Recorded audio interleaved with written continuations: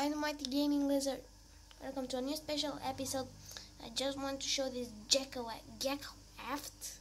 He just climbed through over here. I don't know how, but he's pretty much amazing. This is why I'm gonna put a lid on next time. I mean this time, I'm gonna put a lid. So this was a really, really, really short episode, probably 30 seconds. He's over there as he usually stays near the hide. He usually stay in the hide, but not now. Not just to wander around now. I think I'm covered up again. It has uh, two holes here, one here, and one uh, here. I think yeah, here.